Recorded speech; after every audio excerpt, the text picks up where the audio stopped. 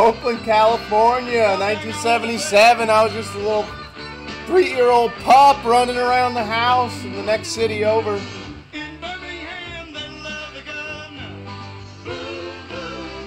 Lynyrd Skynyrd. Come on, everybody. You remember Lynyrd Skynyrd, right? Freebird. Southern Rock. I know you know the name of this this band here, right?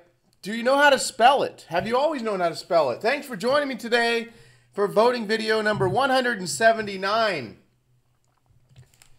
Lynyrd Skynyrd. Yeah. this was a time here way before the Mandela effect. They knew their reality. Do you know yours? Lynyrd Skynyrd. This is what I remember. L Y N A R D. S K Y N A R D.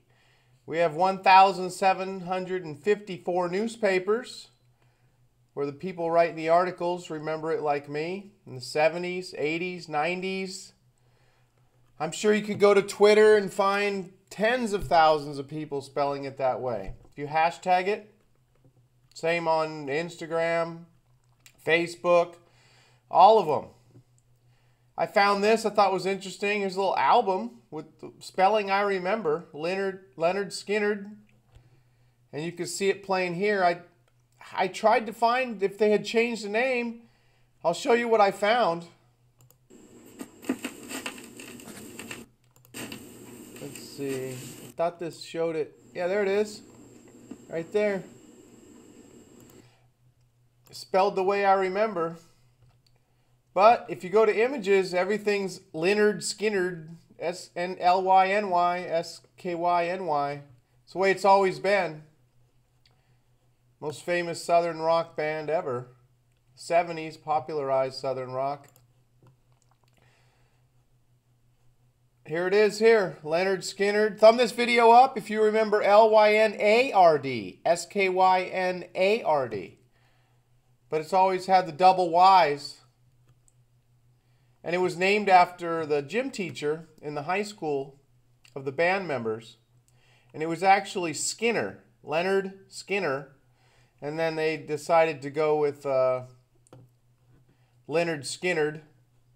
But never, from what I see here, never do I see the spelling I remember.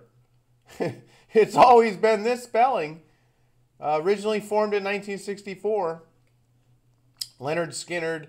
Uh, finally deciding on Lynyrd Skynyrd in 1969, so that might explain this. But that might, okay, so in, one year after this here, they decided to go with the double Ys. But, okay, is that what we're remembering? We're all remembering this album from 1968? it's always been Lynyrd Skynyrd. This is so weird. Maybe this, you know, we're on a timeline now where they had gone with this and stuck with it. But we got timelines crossing over. We got reality residue, which a lot of people don't understand. Here's Lynyrd Skynyrd cancels casino concert. And here's the actual spelling that's always been Southern rock band Lynyrd Skynyrd, the way I remember it. I mean, they have this photo here, but they go with their memory. You know, the whole point of the article is about the band. They can't even spell the band's name right. So um, that's about it. Just wanted to do a quick voting video on this. Pretty crazy, but I think this is a big one for a lot of classic rock. Oh, I wanted to show you one last thing before we go. Thought this was interesting. I hope it's still here. And maybe not. Probably bring it up. If you're still with me here, let's see.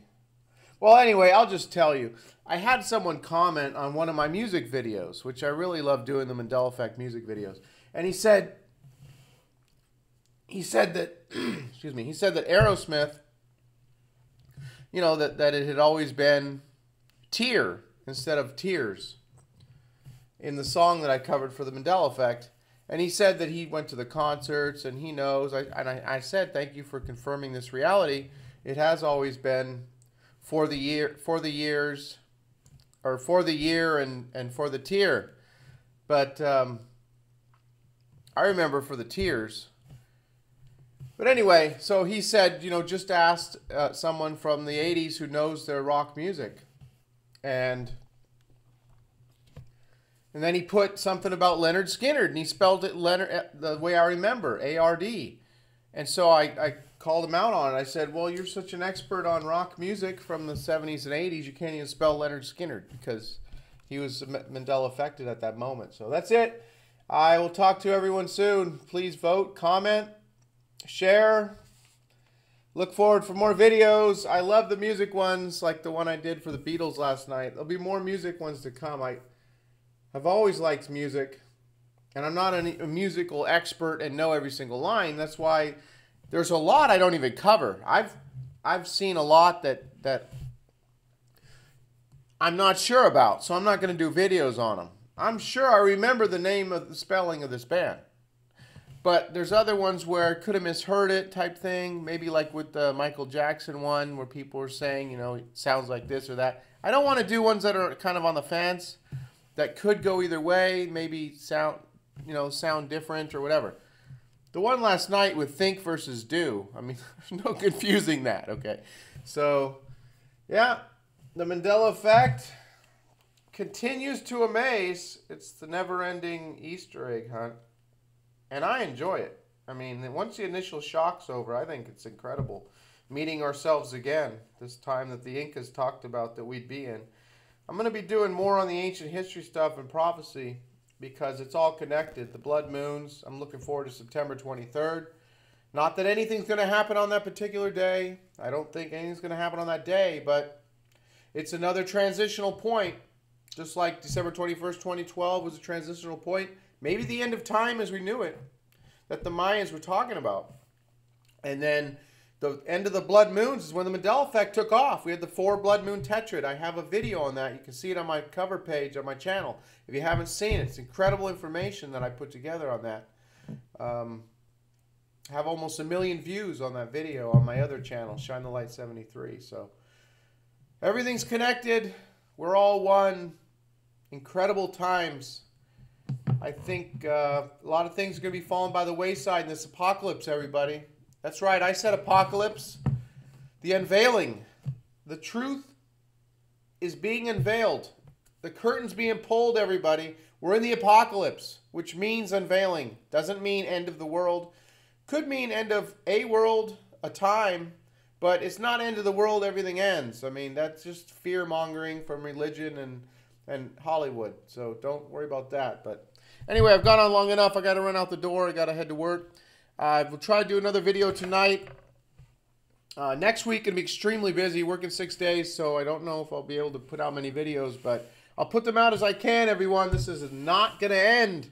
I want to continue documenting my memories, and the Mandela effect is coming at you. So stay ready for it. It's not stopping. But don't fear.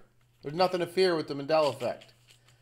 You're learning that you're a multidimensional being and that we're always shifting realities. So there's nothing to fear, everybody. Do not fear the Mandela effect. Go create the reality that you want.